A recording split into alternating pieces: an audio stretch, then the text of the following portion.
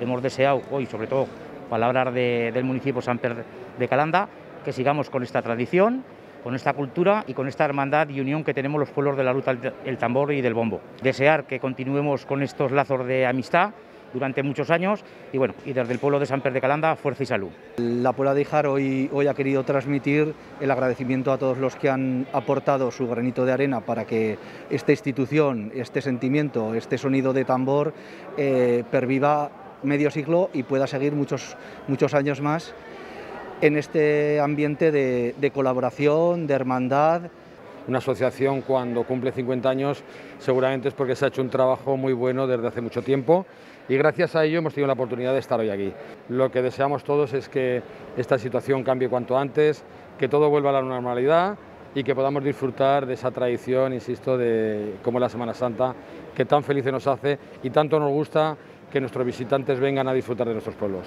Eh, después de 50 años estamos aquí, se han hecho las bodas de, oro, hemos visto que se ha declarado de interés turístico internacional en su caso la ruta del tambor y el bombo, algo importante, no importantísimo. Enhorabuena a los tamborileros, enhorabuena a la ruta del tambor y el bombo y todos aquellos alcaldes, presidentes de la ruta del tambor y el bombo que durante estos 50 años han estado trabajando para llegar a este 50 aniversario. Eh, hemos entendido que la ruta es el, eh, buque insignia este, de esta tradición tan propia como es la nuestra.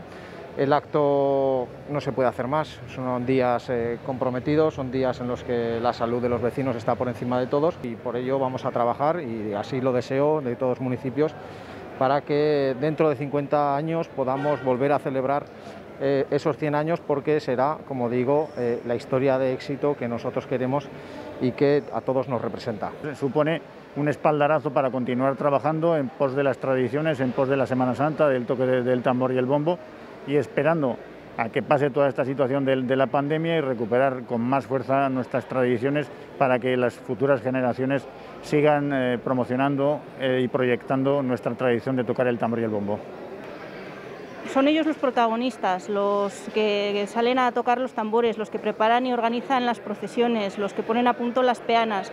Son ellos los protagonistas y por lo tanto los necesitamos para poder mantener viva la tradición. La tradición tiene que cambiar y tiene que ir eh, adaptándose a los nuevos tiempos. Nada permanece completamente inmutable. Por lo tanto, ellos son los que van a decidir qué es el futuro de nuestra Semana Santa. Si nosotros somos bajo aragoneses y además somos unos apasionados de nuestra Semana Santa y nuestro tambor y el bombo. Y en segundo lugar, porque que era necesario que esta ruta del tambor y el bombo tuviera un texto que recogiera el sentimiento que sentimos hacia nuestra Semana Santa y este tambor y el bombo. Y, como decía al final de mi intervención, eh, como soy optimista, eh, creo que lo mejor está por llegar para esta ruta y que seguramente, como lo mejor está por llegar, el año que viene confiamos en que sea posible en esta misma Plaza España poder celebrar esas jornadas de convivencia y hacer sonar los tambores y los bombos, no desde los balcones, como sucedió este año 2020, sino ya todos juntos, eh, todos los pueblos de la ruta.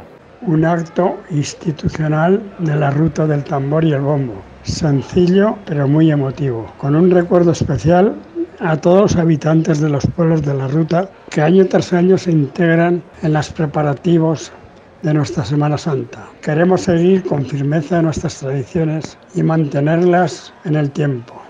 Un pueblo sin tradición es un pueblo en el olvido. Todos sabemos lo que ha pasado. De verdad, no es el acto que nos hubiera gustado hacer, pero ni a los alcaldes, ni a los vocales de la ruta, ni a nadie. Le hubiéramos traído tambores, todo, pero no ha podido ser. De verdad que no podía ser. Y por lo menos lo que no queríamos era dejar pasar esta fecha. Porque un 5 de septiembre, de hace 50 años, y en esta misma ciudad se fundó la ruta. Pues había, había que hacer algo y gracias a vosotros, a los medios de comunicación, pues lo vais a difundir y la gente se va a enterar. Eh, hoy es un día muy importante para nosotros, 50 años no se cumplen siempre y máximo en una asociación cultural y una asociación cultural que está compuesta por nueve municipios diferentes.